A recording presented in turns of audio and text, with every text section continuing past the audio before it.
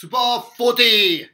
はい、スチューリビーです。えーっと、今日はアイアンマントレーニングの第3週の、えーっと土曜日、要は週末でロングライドとあの水泳とロングランのあの3つがあって、えーっと土日で毎週やるので、えっと今日はかなりあの大変なあの20日目でかなりあの大変な一日で、えー、と自転車あのロングライド長距離の、えー、と自転車乗りました、えー、と今砂漠に来て、えー、と砂漠と言ったらネバダ州、えー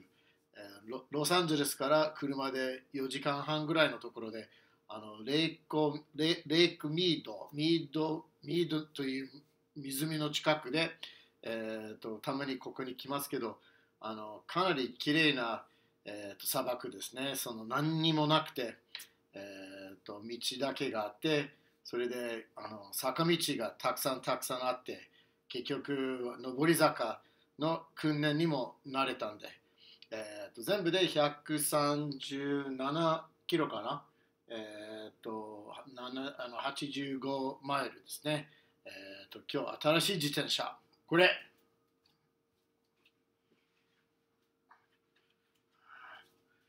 これ、新しいあのセセーベロの、えー、と P2 で走ってきました。えー、とこの自転車があの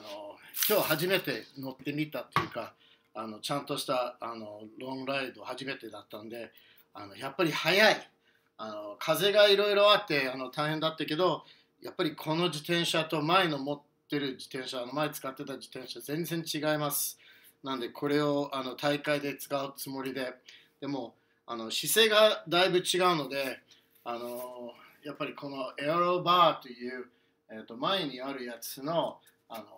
ここれの姿勢が、えー、とちょっと見せますね。こういう感じで、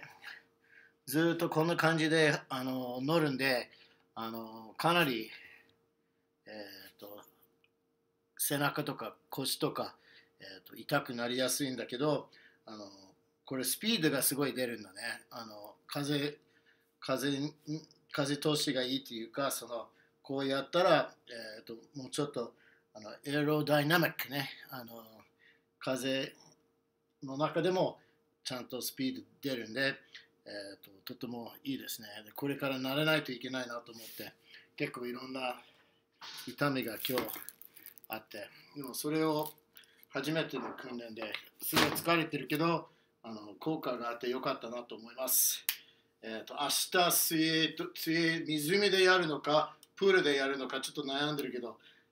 湖の水がどのぐらい寒いのか冷たいのかあのウェットスーツ着るかもしれないけどあの時間があったらまた、まあ、そういうオープンウォーターって言うんだけど湖の中であの泳いでみようかなと思ってます。えーと、じゃあ今日はそんな感じで自転車頑張りました。明日また水泳とランニング頑張ります。はい、あのスチューリービーでした。スーパー 40!